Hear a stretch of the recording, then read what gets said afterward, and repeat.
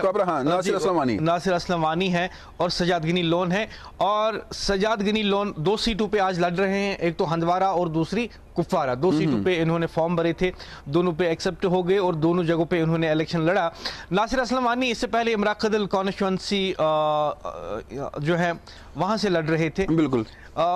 और उसके बाद जो है मीर मोहम्मद फयाज पीडीपी के कैंडिडेट हैं और पार्लियामेंट पार्लियामेंट हाँ। मेंबर भी रहे हैं।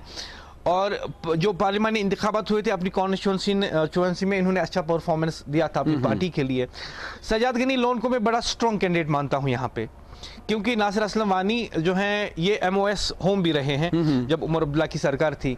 आ, लेकिन तब जो हैं ये इमराकदल से जीत के आए थे। मोहम्मद फयाज जो अमीर फयाज जो हैं ये वही आ, के रहने वाले हैं और वहीं पे इन्होंने काम भी किया है और वहाँ पे ये लोगों के साथ जुड़े रहे। और सजाद गनी लोन इनका क्या कहना? मैं तो अब तक कह रहा था कि मैं इनका बड़ा बहुत बड़ा फ़ैन हूँ। हाँ, मैं ज़ाती तौर पे ज़ाती तौर पे मैं इनका बहुत बड़ा फ़ैन हूँ।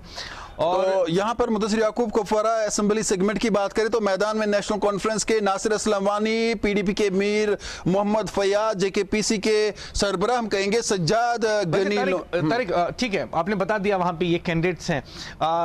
थोड़ा प्रोग्राम से हट के ना एक दोस्तों की तरह बात करते हैं नॉट एज एंकर ऐसी बात कोई ना कहे जो इनको बुरी लगे इन तीनों नहीं को। अब क्या चाहते हैं कि कौन वहाँ पे जीत के नहीं मैं मैं न तो मैं जाती तौर कहूँगा और ना एक सहाफी के बतौर कहूँगा।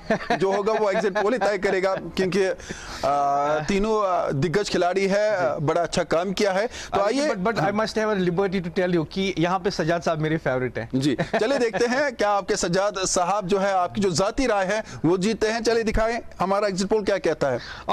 पीडीपी के खाते में ये सीट चली जाती है। मीर फयाज वहाँ से जीतते हैं कुफारा से।